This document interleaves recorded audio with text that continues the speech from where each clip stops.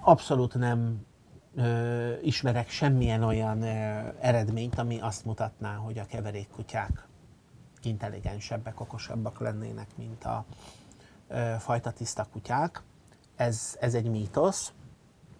Igazából arról van szó, hogy a fajta tiszta kutyák sok esetben egy bizonyos feladatra vagy feladatkörre lettek szelektálva.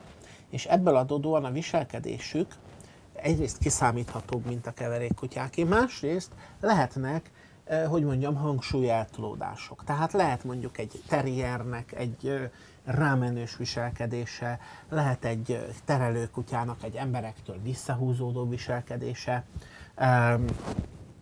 lehet egy, nem tudom én, nyájőrző kutyának egy nagyon, hát hogy úgy mondjam, kemény fellépése, ezzel szemben a keverék kutyáknak azt lehet mondani, hogy talán egy kiegyenlítettebb viselkedése van.